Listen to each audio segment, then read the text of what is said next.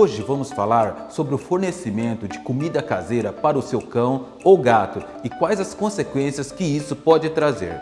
Eu sou o Dr. Edson Kenji e esse é o tema de hoje do Momento Quem Coveste.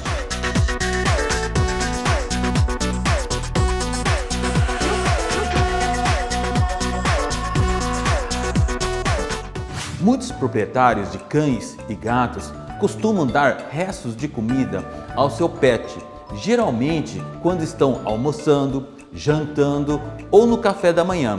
É nesse momento que seu pet fica ao seu pé com aquele olhar pedindo para que você jogue alguma coisa. É claro, você não resiste e acaba cedendo.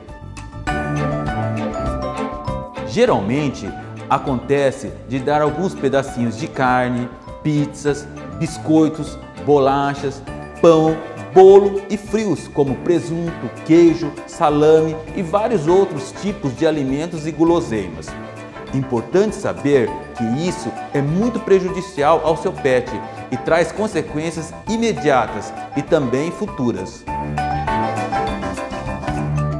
Os problemas imediatos podem ser desde uma pequena intoxicação alimentar, causando vômitos, diarreias, alergias, falta de apetite, a casos mais graves que necessitam até de uma internação.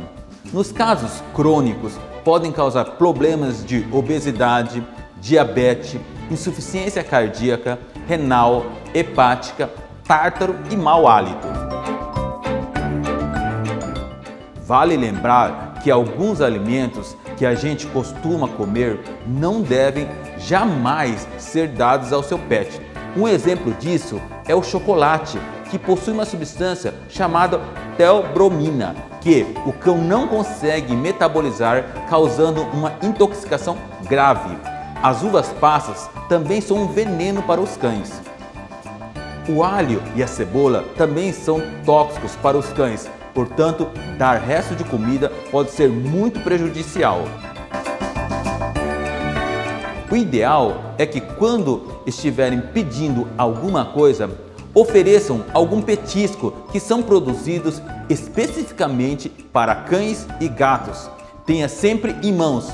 Vale lembrar que os petiscos não substituem a alimentação seca, que é a ração.